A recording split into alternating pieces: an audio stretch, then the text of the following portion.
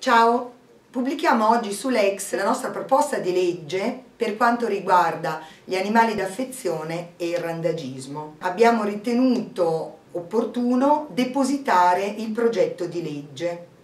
che è stato elaborato dal nostro gruppo di lavoro che si chiama Amici Animali. È un gruppo di lavoro presente in regione, può farne parte eh, chiunque sia interessato all'argomento, vi invitiamo quindi, se volete farne parte, a scriverci. Questo progetto di legge è comunque anche se depositato, passibile di miglioramenti, di modifiche eh, che saranno proposte come emendamenti in quanto anche il progetto di legge che verrà abbinato appunto a tutta la discussione che si svolgerà in commissione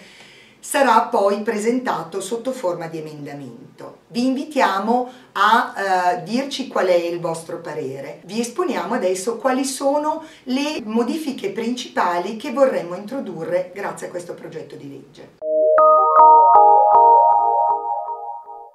Partendo dal principio che gli animali eh, d'affezione sono considerati esseri senzienti, che hanno delle loro emozioni, che hanno una loro sensibilità, eh, ci pare giusto smetterla di considerarli come degli oggetti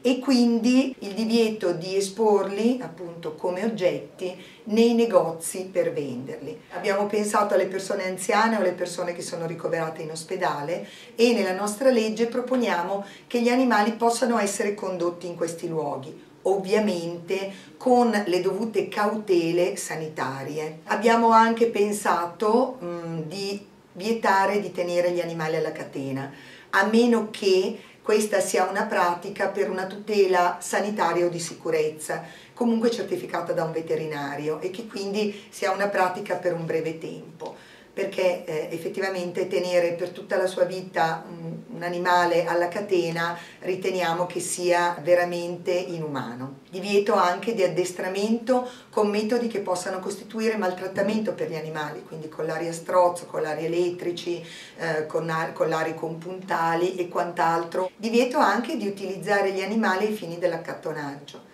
quindi eh, se una persona eh, senza tetto vuole tenere un animale, benissimo, chiaramente ne ha perfettamente diritto, anzi magari appunto è la sua famiglia, però che non venga utilizzato o esposto per eh, avere dei soldi e per impietosire le persone, anche perché sappiamo che alcune volte questi animali vengono purtroppo sedati per tenerli ore e ore fermi, immobili vicino a queste persone. Chiediamo anche che venga sanzionato chi eh, maltratta eh, gli animali durante fiere o durante nei circhi e che non sia possibile metterli come premi per lotterie o fiere, proprio perché non sono oggetti, sono esseri senzienti e questo è importante che passi proprio eh, come, come messaggio molto forte. Chiediamo anche che venga impedito di darli in adozione all'estero perché sappiamo che molte volte fanno una brutta fine e anche in quelle regioni che non le tutelano in questo senso, quindi che permettono le adozioni all'estero, nonché di fare verifiche prima e dopo presso gli adottanti,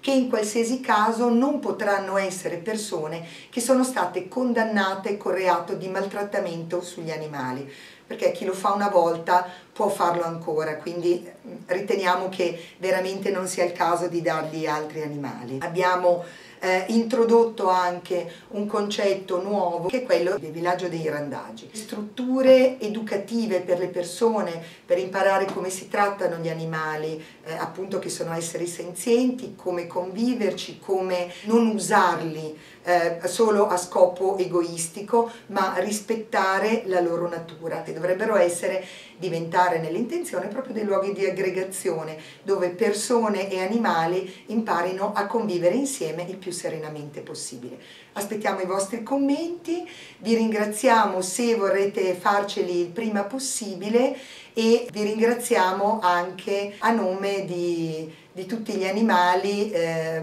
per cui veramente abbiamo tanto ma tanto amore.